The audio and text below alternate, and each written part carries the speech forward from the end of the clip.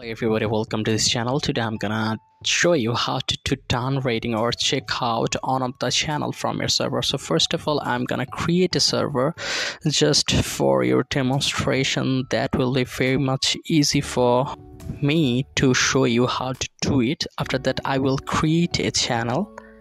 Okay, so this is my server now. I'm gonna create a channel. Like the first one is test one okay. Then the second one is test 2 okay. So let's say this is the thing. Okay. I'm gonna just demonstrate now. Now if i want test 1 as my checkout channel i have to disable the everyone roles message permission just above the test one channel. So we can see that general is the only channel which is just above the test one. So i'm gonna go to the general. Then i'm gonna go to the settings option. Then i'm gonna go to the channel permission.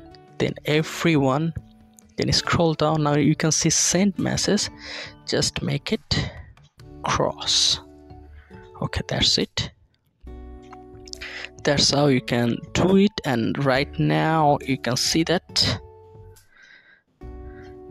Test one is my checkout option. Now if i want to make my checkout channel as test 2 i have to do that for the channels f of the test 2. So f of the test 2 channel we have two channels. One is general and another is test one. So i have to do the same with that particular two channels with the everyone rule. Okay.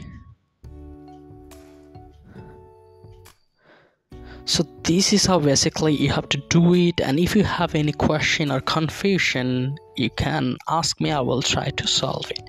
So if this tutorial helped you like this video and don't forget to subscribe to my channel. See you in the next one